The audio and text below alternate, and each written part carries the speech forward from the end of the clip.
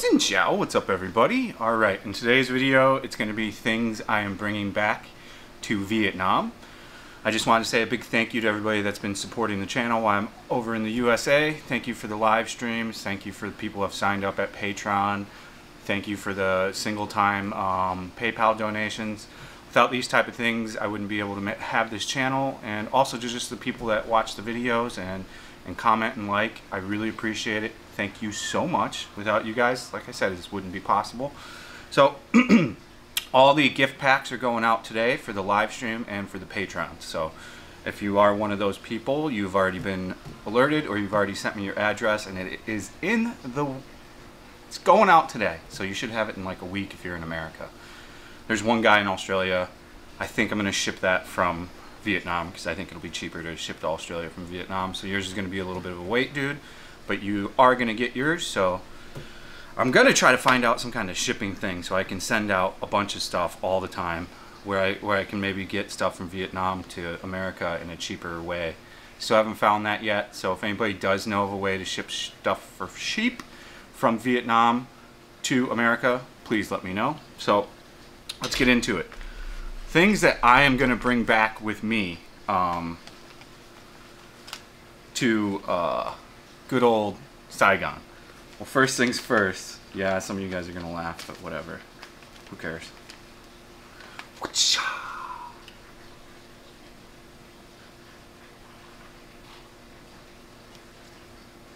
So yeah, spice packs. Um, it's you can get some spice packs like the American store they call it those those three American stores that are all side by side each other there. I've walked through those so extensively.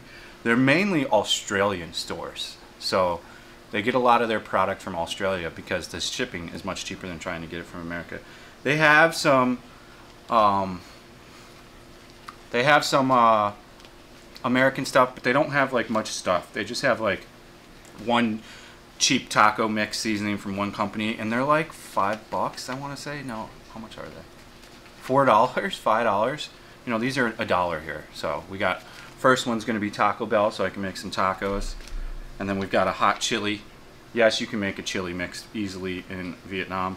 Then we've got a sloppy Joe. Yes, and then I got a bunch of these uh, ranch packs.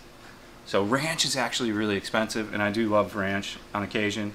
The Hidden Valley Ranch is, uh, for a bottle of the smaller Hidden, ba Hidden Valley Ranch, it's like $7 in Vietnam. So, you know, like, like I said, these were a dollar. So this is just going to be a lot easier for me. And then the other thing, which might surprise some people, I'm pretty good at, at growing things. if anybody's followed the channel, I've talked about it before how I used to grow cannabis. But so yeah, we're gonna we're going to take some pepperoncinis. I got some heirloom tomatoes. I got a couple other things um, that I wasn't able to find in Vietnam. I'm going to take some jalapeno seeds as well. And yeah, I'm going to grow some stuff on my porch. And hopefully we get some nice, uh, you know, pepperoncinis and stuff like that. That stuff's also available to get in Vietnam, but it's super expensive. It's like 10 bucks. Like, I don't have the money to waste on that stuff.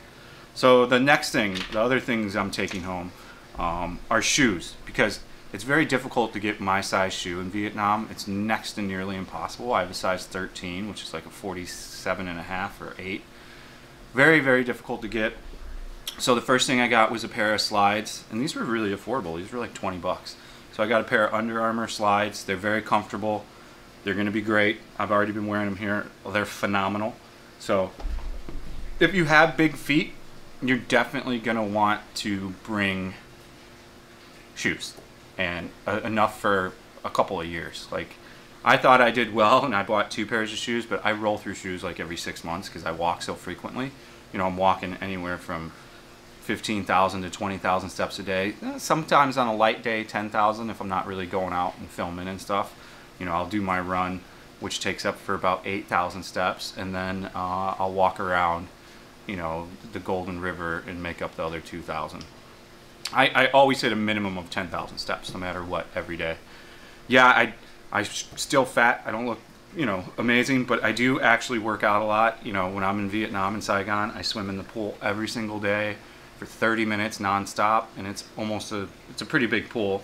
So, and then I run for about 40 minutes every day 35 40 minutes i've actually been extending that here and doing a bit more running and it's a bit more intense here so i should be in better running shape when i get back to vietnam. But that's the other thing that i bought here is i got a pair of adidas boost. These here.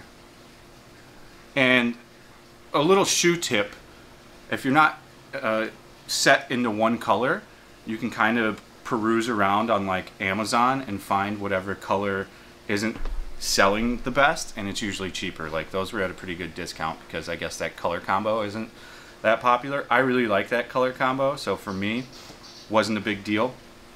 So this is stuff, you know, that the only thing that's going to be necessitized, you know, necessary for you to take is shoes if you've got big feet and then things like Metamucil are very difficult to get. So if you take Metamucil, which I have for years because it, it just does a good job at cleaning everything up, um, you're going to want to take that with you. You're going to want to take a couple big jars with you. And then, uh, but yeah, the, the shoes are great. I've been running in these. Really good shoes. I really like the Adidas Boost. I was an Under Armour HOVR guy forever. And then uh, I jumped over to Adidas in Vietnam when I found they had some pairs there on the other boost, the first boost. So they've been nothing but good shoes to me. Great running shoes, and they're a great casual walking shoe. So if you're going to be walking a lot, like how I do, I walk everywhere in Vietnam, in Saigon, you're going to want a good pair of shoes. So other thing I picked up was these awesome sunglasses, which I've been wearing in a lot of the videos. These were a very affordable sunglass. They actually have a hinge to them too. So you kind of want to get that hinge and I don't my my rule of thumb on sunglasses nothing over 10 bucks because they're I, am rough on sunglasses. You know, eventually I'll break these because I put I always put them up here on the top of my head, and then if you don't have the right pair and they're not securely snugging under here, when you bend down, they can just go down and crack in half. So other stuff is is Winnie asked me to get her some things to give to her family and stuff like that. So like a 10 pack of chapstick. It, she picks some weird stuff, but I get it. it it's you can get this stuff, but it's a bit more expensive in Vietnam. I also got her a perfume. She wanted some Hermes perfume and it was on sale, so we got her Hermes perfume. I'm still debating on whether I'm going to ship this stuff through the service or check a bag. I hate checking a bag. There's so many things that can go wrong with checking a bag. I almost always try to avoid checking a bag. But we'll see what happens. Maybe, maybe not. Next one we got is uh, multivitamins. So Winnie wanted wanted these. I think she's going to give them again as gifts to the family. You can get these in Vietnam, but they are twice the price, three times the price. So if I am going to check a bag, these won't be a big deal to to take. Not really that hard.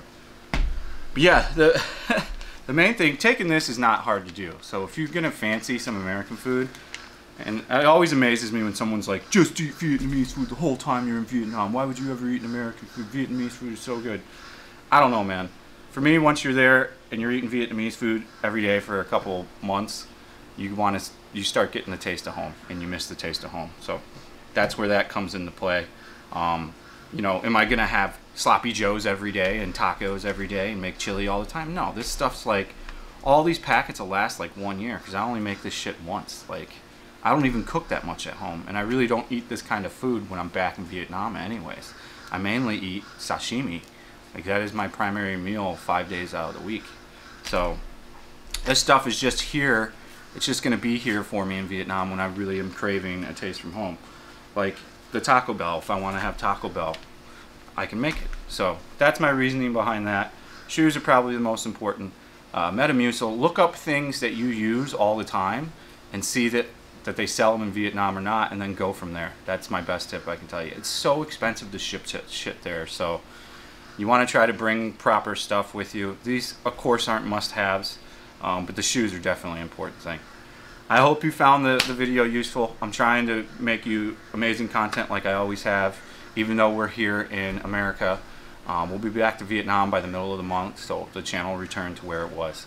Again, thank you guys for the support. If you do want to additionally support the channel, you can do a one-time donation through PayPal. You can join the Patreon and get the Patreon exclusive content.